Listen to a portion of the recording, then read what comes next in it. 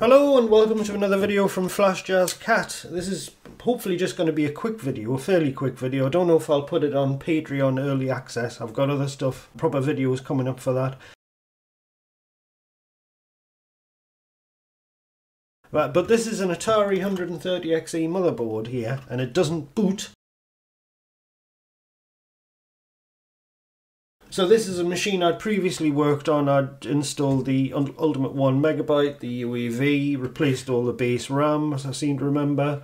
I fitted a 74 F08 chip. So it went back to America and the owner decided that he wanted to try another device uh, in the motherboard and uh, he wanted a socket under the CPU. So he didn't want to send it all the way back to the UK so he, he sent it to a local technician to get a socket put under the CPU.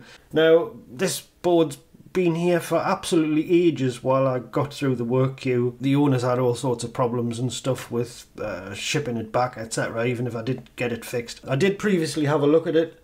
Uh, the owner seemed to think that the Ultimate 1 megabyte had gone bad. Um, it wasn't uh, immediately obvious that there was anything wrong with it, and of course, I've been a bit more pragmatic when I got the machine out this time and put it on the desk. I've disconnected the Ultimate 1 megabyte completely and I've put an original MMU and an OS ROM back in the computer and it still doesn't work. So it's not the Ultimate 1 megabyte after all. We can completely discount that. Well, I'll show you what happens when I turn it on anyway. That's probably the best thing to do. Alright, so here we go, switching on. And you can barely make that out on the on the screen actually, but that is just a green screen. It's a very dark green screen. So that's it so it doesn't boot. So if we'll disconnect the power, now I emailed the owner again last night uh, because uh, I looked around the board. I couldn't see anything obviously wrong with it. It's obviously not the FREDDIE chip because we get a clock and a picture. It's obviously not the GTIA because we get a picture. I very much doubt if it's the Antic chip. And this is where uh, obtaining information from the customer can really help with the troubleshooting process because he clarified that after that CPU socket was put into the machine and it was sent back to him and he peed, it never worked. It never ever worked after that socket was put in. So that tells us that there's probably something wrong with the socket. So uh, let's have a little look at this. I've already swapped the CPU off camera with a with a known working one, so it's not a dead CPU. We're looking at some sort of problem with this socket here. So if uh, if we furnish ourselves with a copy of the schematic here, we can start to ping out the traces between the um, the CPU down here and the uh, Antic chip. Now I know that the uh, connections for the Ultimate 1 megabyte at the top uh, left corner of the CPU uh, are fine because I already pinged them out when I was investigating the uh, Ultimate 1 megabyte. So we'll just start um, a little bit further along at the top of the CPU and we'll just use the schematic here to um, see where we need to put the probes and see if everything's okay because I'm pretty convinced there's some sort of broken trace under this uh, CPU socket. Right, so data line always on pin 33 of the CPU, so we've got 40, 39, 38, 37, 36, 35, 34, 33. So that should be D0 and on Antic um, that is on pin 30. So should be down here, right in the middle, and that one's fine. So they run in op opposite directions now, so as we go to the next one, that'll be D1. And on Antic, it is pin 32. That one's fine. And then we've got D2 on the CPU, which is pin 32, if that's correct. And on Antic, D2 is pin 31, so that should be there. Okay, and then we've got D3 and that should be the next one along there I think. I'll double check. So that would be pin 33 on Antic and pin 30 on the CPU yep according to the schematic. What about the next one? Ah, D4 is pin 40 on Antic. It would have to be awkward. Ah there we go. So there's there's D4 so D3 is supposed to be here and down there so we appear not to have D3 for some reason, so let's have a closer look. Right, so here's our socket. Now the, uh, the problem pin appears to be this one here, which So this is pin 30 on the CPU. Now this one connects to a trace which runs down to here. So this via shoots through the board and goes along and should connect to this trace running down here and connecting to pin 33 on the Antic chip and it seems it doesn't. So let's get the, the probes on here and see where it goes wrong. So it, it definitely goes wrong somewhere. Continuity is lost. So to this pin here and we should put the meter into the correct mode. There we go, that pings out fine. And the other end of this is sort of under this leg of the CPU. I should be able to wedge the probe in there. I'm just going to cut that cross piece off this socket because I can't get to it.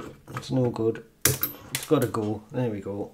That's better. Now I can see what I'm doing. So, this via here to this via here So we've got continuity there, and we've got continuity all the way back to there, but we don't have continuity here.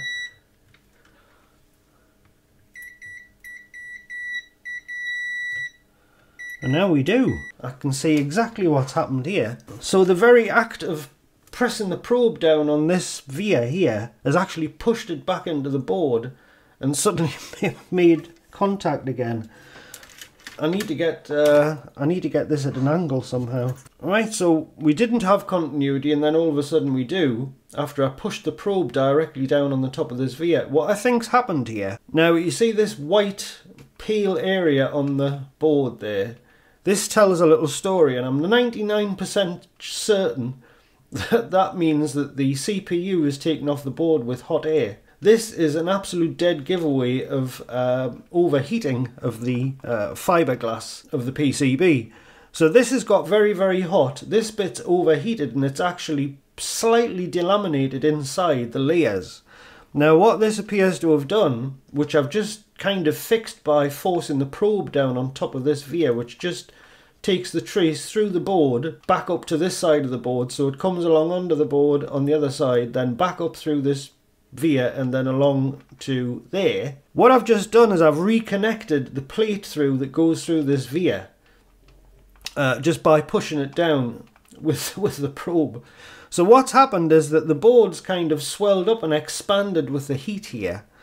And that has cracked the plate through that goes through this via right through the board. And I've just sort of made it make intermittent contact again by pushing down on the top of that uh, via.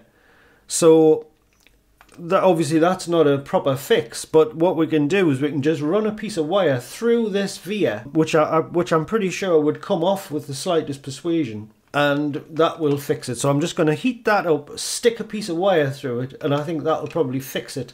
And yeah, if we look through the, we actually get the camera to look through this little magnifier that I've got on the desk, you can see where it's lifted from the board there that via. It's proud of the board. So the it's come unstuck, it's lifted, and it's cracked, and it's broken the connection through the board. Right, so I've just stuck a, re a resistor leg straight through that hole from the top, melting the solder in the via as I do so. So that should have bonded the two halves of the via together.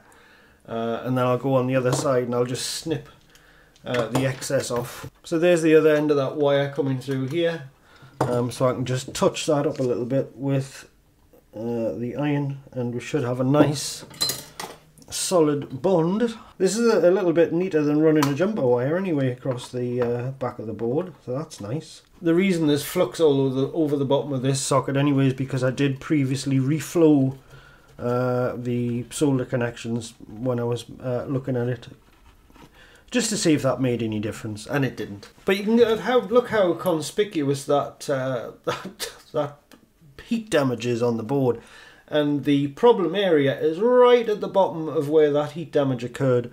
So we're quite lucky, I would imagine, that we don't have similar problems with these vias here, here, and down here. They're just on the edge of where the trouble was. That one's right smack in the middle of it. Well, I was about to say I'm so confident this is going to work that I'm going to plug the ultimate back in before we turn it on, but I'm not because just in case there is some secondary problem. it's better to be pragmatic and we'll just uh, we'll run it as stock. Plug it in. Remember to put the CPU back in as well, that might help. And turn on. And there we go, it boots. Fixed.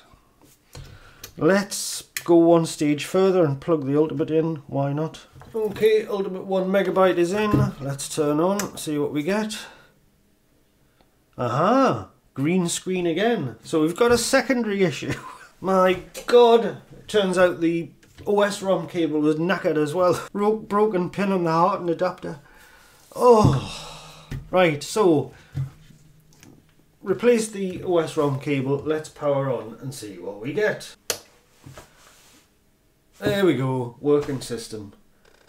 So there you go, hopefully that's an object lesson in the perils of uh, socketing work. I don't know if the technician who put the socket under the CPU maybe had no way of turning the computer on to test it, fair enough. But if you've used hot air to take an IC off the board and you see a peel patch uh, on the board itself, that is an immediate uh, indicator that the board got a little bit overheated and in fact it was plain to see that there was a potential issue with that via, that transitional via. Uh, it wasn't as if it was damaged by yanking the chip out of the board when the solder melted.